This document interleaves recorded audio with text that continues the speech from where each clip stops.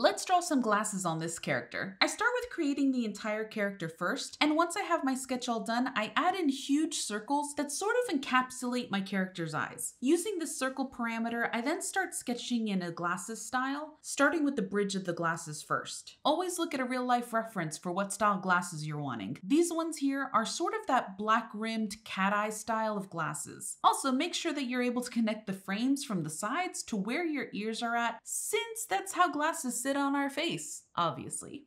Once done, I ink them in completely in black. If you're wanting to go for colored frames, then a simple outline will do. I then erase my sketch lines and color it all in while making sure to color in the lenses part of the glasses lighter. This way the character gives off the illusion that her glasses have actual lenses in them. And for a final effect, I add in white glare to the lenses with Posca paint pen in white, just to sort of further push that lenses look. And that's that.